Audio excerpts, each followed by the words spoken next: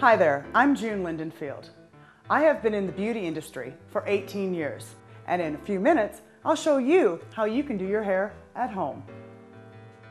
My clients in the past with long hair have asked me, how can I make my hair a little more formal without the ponytail? Well, I'm gonna show you how you can do a French twist. We're gonna take my hair, and we're gonna put it into your standard ponytail.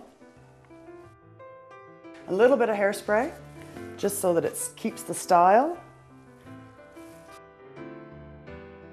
Thank you for having me into your home so that I could guide you into making your hair look wonderful. I wish you many happy hairdos.